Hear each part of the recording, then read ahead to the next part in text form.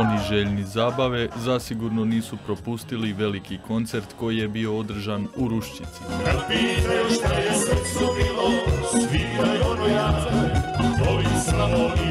Čast otvaranja, a kasnije i zatvaranja koncerta imali su članovi tamburaškog sastava Evergreen. Je da možemo i otvoriti večerašnji program i zatvoriti. Očekujem da će biti jako lijepo, rasplesano, raspjevano.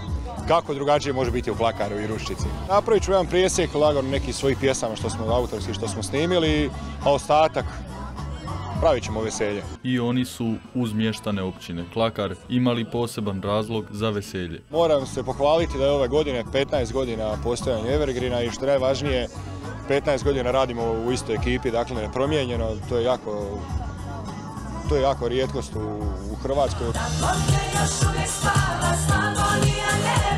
Svojim je glasom koncert uveličala i poznata slavonska pjevačica Cecilija. Kada je koncert u pitanju, kaže, trudi se svoju publiku kroz pjesmu i nastup što više uveseliti. Jedino što je bitno u ovome svemu, a to je publika koja dolazi na moje koncerte i evo, zapravo nekako teško je meni to prevaliti preko usana, ali zaista danas e, bilo koga dovesti na koncert je iznimno teško.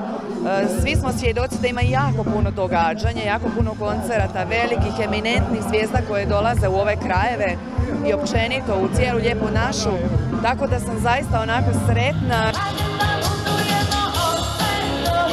Izvela je mnogobrojnoj publici i svoj novi ljetni hit pod nazivom Živi, samo živi. Živi, samo živi pjesma koju smo predstavili na CMC festivalu. Drago mi je što sam kao Slavonka bila u Vodicama, predstavljala Slavoniju sa zabavnom pjesmom.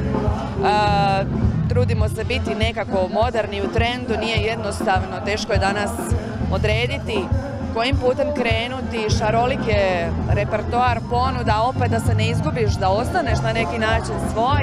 Evo, uspjeli smo sa pjesmom Živi samo živi, sa ekipom Hit Factory koja se posvetila tome.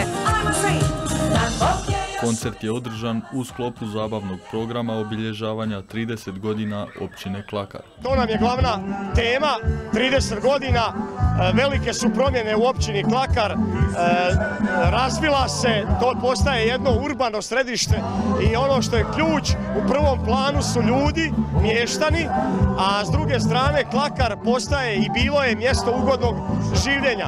To jednostavno prati e, povlačenje sredstava, tako da e, urbano mijenjamo e, krajolik sva četiri sela. Program obilježavanja 30. godišnjice trajao je tijekom protekla dva tjedna. Cijela se lokalna zajednica kroz razne udruge i društva potvrđuju iz općine aktivirala kako bi slavlje bilo što veće. Ovaj tjedan i protekli tjedan imali smo dosta aktivnosti, imali smo turnire po svim mjestima općine Plakar.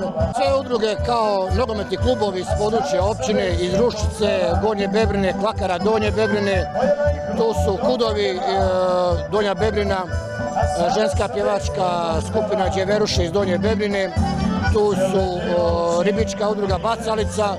Koncertom u Ruščici zaključen je zabavni program obilježavanja 30 godina općine Klakar. U to vrijeme, kako ističe načelnik, općina se razvila u jedno središte ugodnog življenja.